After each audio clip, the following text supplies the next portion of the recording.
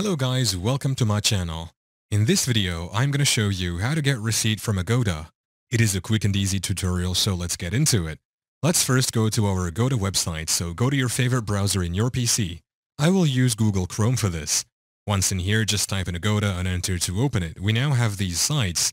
Just tap on this link here so that it can take you to the official site. In here, you will see all these options at the top. Just find where you have your profile icon and click on it to open. You will now see an option written bookings. Just click on it to enter into it. You will now see all the bookings at the left side here. Just press on all bookings below my bookings. I don't have any bookings in here, however. To obtain a receipt from Agoda for your booking, you can follow these general steps. Locate the specific booking for which you need a receipt. Click on the booking to view the details.